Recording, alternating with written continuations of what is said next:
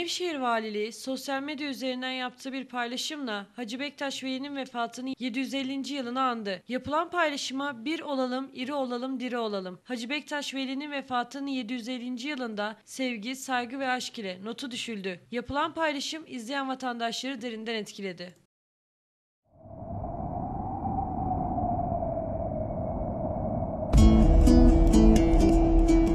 Bismillah, Allah Allah, Allah Allah.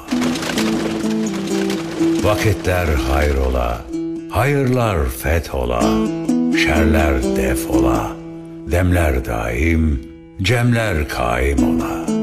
Erenlerinin nuru cemali aşk ola. Yüce Yaradan, ehli beytin, üçlerin beşlerin, kırkların aşkına niyazımız kabul ola, muradımız hasıl ola. Şah-ı Merdan, on iki imam yardımcımız ola. Allah Allah, eyvallah. Cümle gerçekler, demine devranına hü diyelim. O Anadolu'dan dünyaya yayılan bir sevgi ışığıydı. Karanlıkları aydınlığa çeviren gönül ereniydi. O savaşın ortasında barışı haykırandı. O Bektaşiliğin özü, İslam mutasavvıfı ve Anadolu erenlerinin en önemli temsilcisiydi.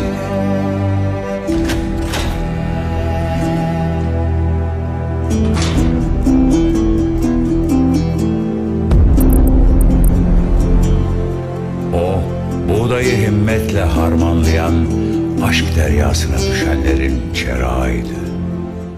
O, bütün insanlığı barış ve kardeşliğe davet eden, harcını kardığı Alevi Bektaşi anlayışının önderi, kutuplar kutbu, gönüllerin sultanı Hacı Bektaş Veli'ydi.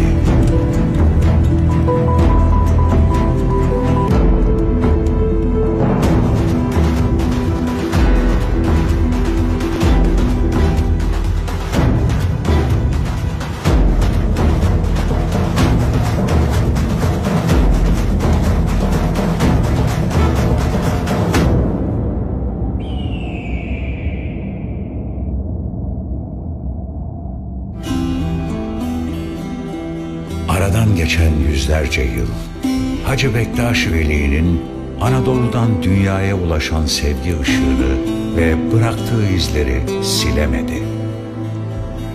Çünkü o erenler piri, aşıkların sultanı, dostun sevgilisi, canların piriydi. O Hacı Bektaş Veli'ydi. Hacı Bektaş Veli'yi vefatının 750. yılında sevgi ve saygıyla anıyoruz.